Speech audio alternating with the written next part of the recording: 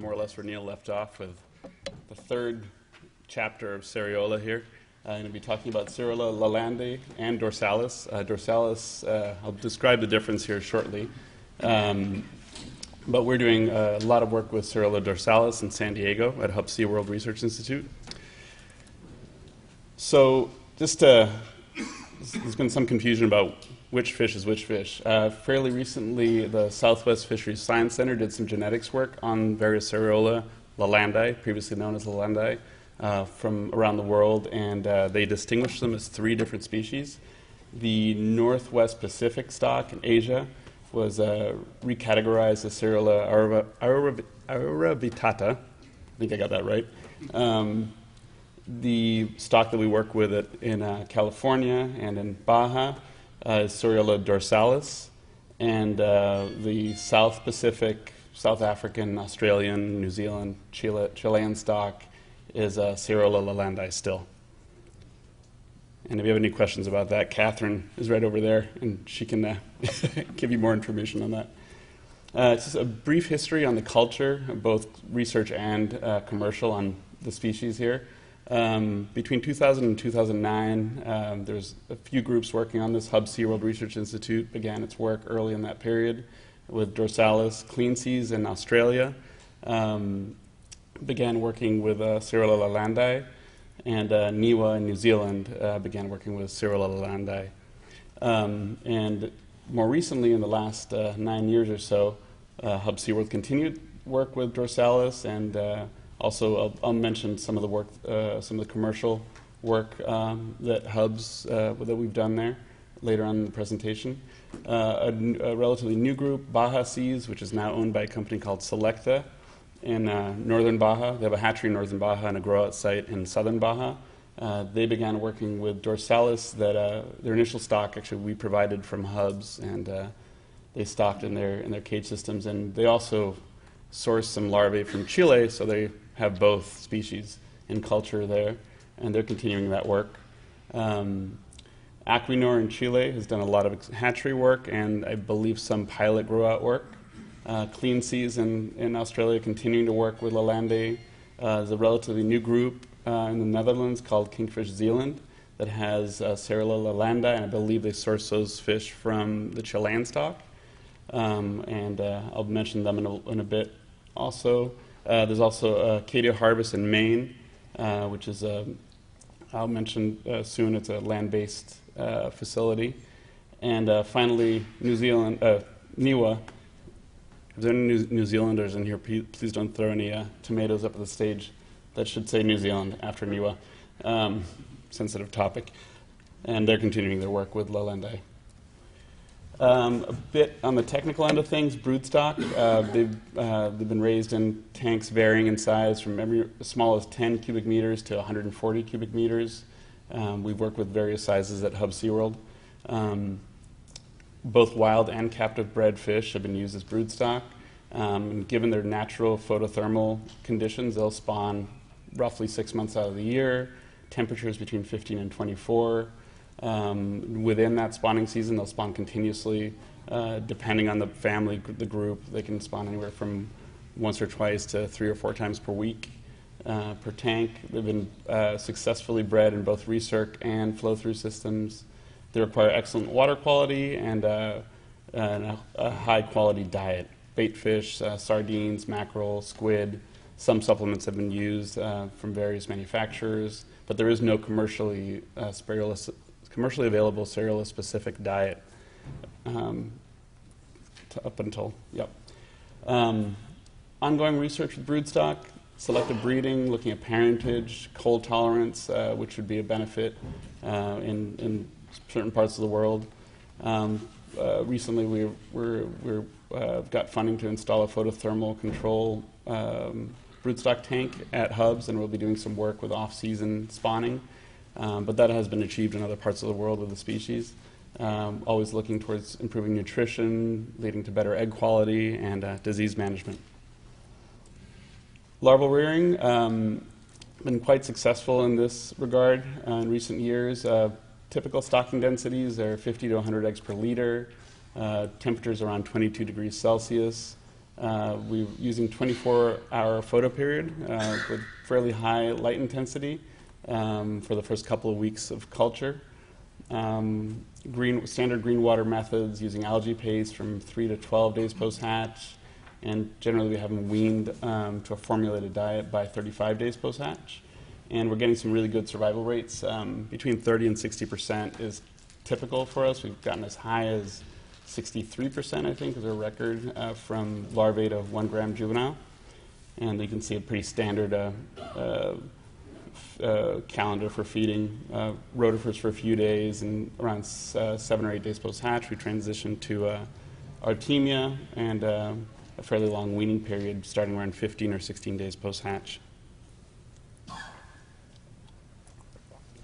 Um, ongoing research in larva culture always trying to improve on production costs, uh, working on improving uh, feed efficiency, reducing uh, labor costs through automation, such as a self-cleaning tank you see pictured there. Um, always trying to improve survival so we get more yield out of each specific larval tank, and that reduces the cost of production. Um, always working to improve nutrition, reduce malformations. Uh, one of the topics that uh, we're still working on is swim bladder inflation. We've gotten We've gotten some good results. We've also see uh, uh, some poor swim bladder inflation in some tanks, and uh, we're working to improve that. Um, decrease disease incidence uh, through better management of microbiology. We fortunately don't see epitheliocystis, which uh, Neil mentioned, which is one of the benefits of this species. That's a, that's a tough one. Uh, within the nursery, um, we generally speaking, we systems have run and we, I'd call that a fairly uh, medium density, 20 kilos per cubic meter is fairly common. I've seen higher densities in, in some systems with the species. Um, we generally expect fairly high survival. 90% plus is, is typical in nursery systems. Um, but it is space intensive, uh, similar to Rivoliana, that's very oxygen intensive um, and labor intensive. Cleaning, hand grading fish for malformations, uh, transporting them is not easy because of their high oxygen requirement. Um, but high quality feeds are available for nursery diets, um, and we typically get the fish to around 30 grams in, in a month, depending on temperature and densities. Um, some of the ongoing research in nursery sized fish is, again, working on reducing production costs, uh, improving the quality of the fish through uh, better health. Uh, some groups um, are working on vaccination um, and depending on uh, what your grow out systems are, as looking to really identify what the best stocking size is for fish, uh, which can vary depending on if it's a land based system or what your temperatures offshore are, conditions, etc.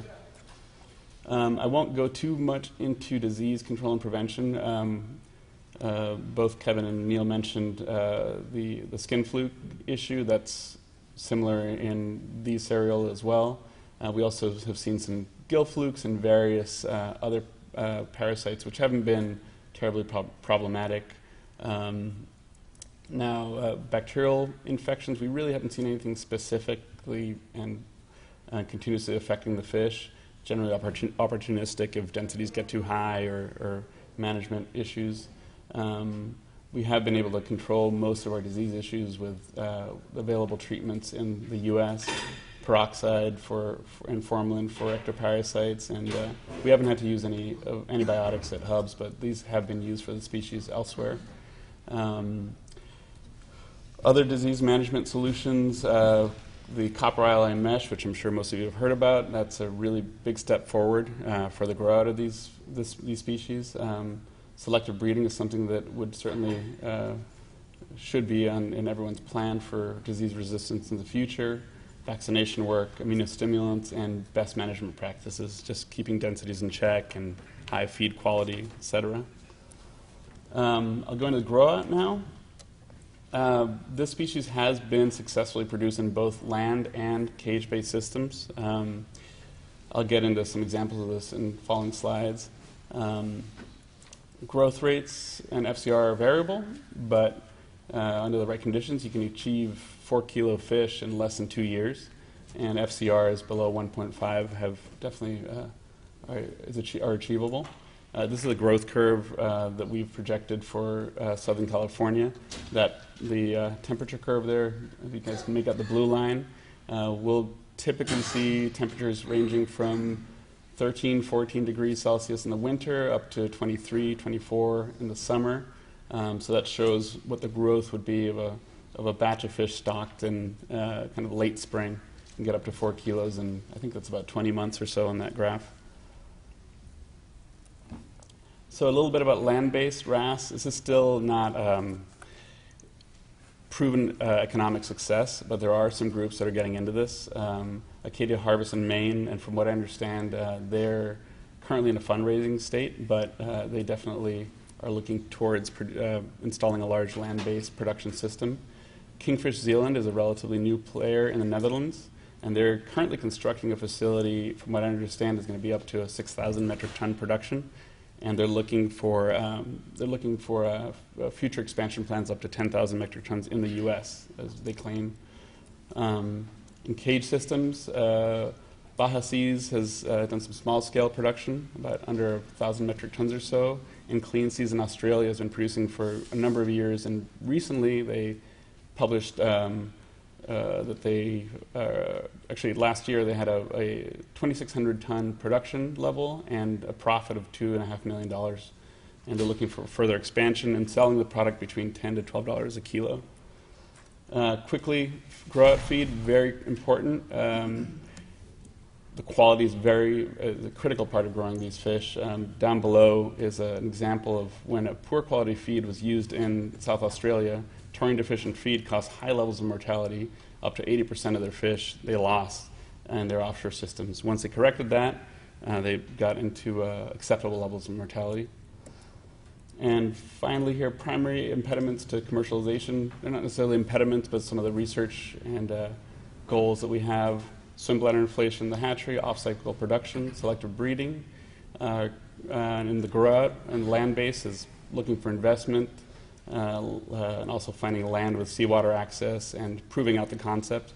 And offshore disease management will always be in, in uh, ongoing research. And most importantly, as everyone's referred to already, is enabling the U.S. to grow these fish offshore, permit acquisition.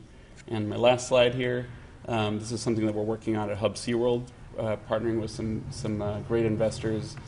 Uh, we're in the process of trying to acquire permits to four or 5,000 metric ton production, uh, offshore production system off the coast of San Diego. And that's it. Thank you.